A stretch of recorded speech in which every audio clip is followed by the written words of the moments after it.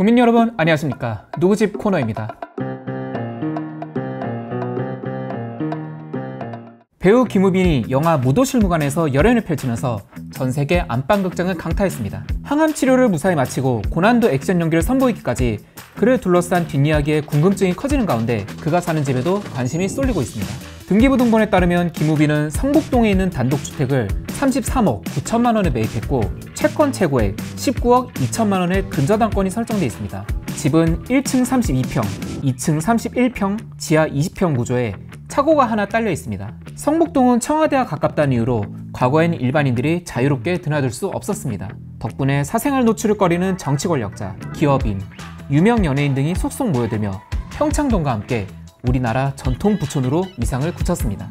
북악산 자락에 위치한 성북동은 동네 전체적으로 경사가 심하고 대중교통편도 드물어 지금도 일반인들의 발길이 거의 닿지 않았습니다. 덕분에 서울 중심부라고는 믿기 어려울 정도로 주거 환경이 쾌적하고 북악산의 맑은 공기도 마음껏 마실 수 있습니다. 김호빈은 2017년 6월에 이 집을 매입했습니다. 비인도한 진단을 받고 모든 활동을 중단한 바로 다음 달로 요양 치료 효과를 염두에 둔 것으로 보입니다. 또한 성북동은 서울 중심지에 자리한 덕분에 자가용을 이용하면 주요 도심과 큰 병원 어디든 30분에 도착할 수 있다는 장점도 있습니다. 이처럼 성북동은 입지적 장점이 많아 현정은 현대그룹 회장, 박정원 두산그룹 회장 등 유명 기업인이 많이 살고 있습니다. 아울러 배우 유해진, 이승기, 이다인 부부, 배용준, 박수진 부부, 블랙핑크 리사, 가수 이수철 등도 성북동에서 거주하고 있습니다.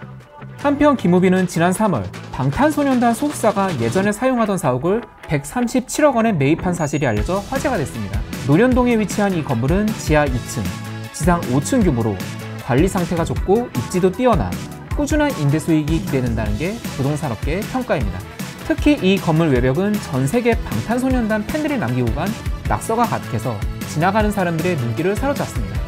소속사가 건물을 떠날 당시 낙서들이 모두 지어지는 것 아니냐는 우려가 나왔지만 월드스타인 김우민 역시 팬심을 잘 알고 있는 만큼 낙서들을 오랫동안 그대로 둘 것으로 보입니다. 부동산업계의 한 관계자는 일부 사업가들은 건물을 고를 때 터에 좋은 기운이 있는지 이전에 좋은 일이 있었는지를 고려하기도 한다며 방탄소년단이 탄생한 건물이란 점은 매입을 더욱 긍정적으로 생각하게 했을 것이라고 말했습니다. 지금까지 노직 코너였습니다.